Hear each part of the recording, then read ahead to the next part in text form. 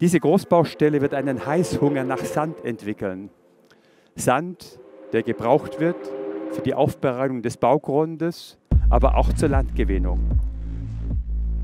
Sie suchen alle möglichst nach sicheren Anlagealternativen zum Kapitalmarkt.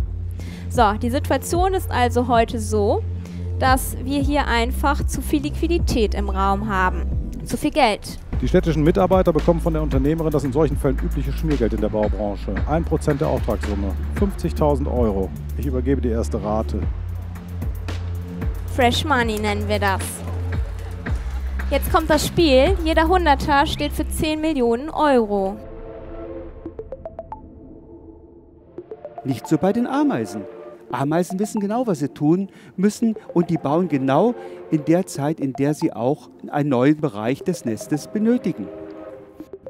Wissen Sie, woran kann man erkennen, ob auf einer Baustelle Schwarzarbeiter sind? Wenn ohne Gerüst gearbeitet wird. Weil von einem Gerüst kann man nämlich nicht so schnell fliehen, im Fall kommt jemand in Kontrolle. Vielleicht kennt mich der eine oder andere aus der Presse. Ich habe die Entrauungsanlage am Berliner Flughafen geplant. Und die soll an allen schuld sein. Nehmen Sie die Tafel mit zwei Händen und wedeln Sie ganz kräftig dem Vordermann richtig viel Wind in den Rücken.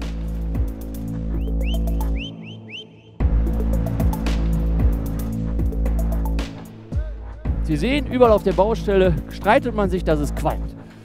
Jetzt sind Sie der Angegriffene. Sie sind jetzt angegriffen. Was müssen Sie jetzt machen? Blocken, Handkante.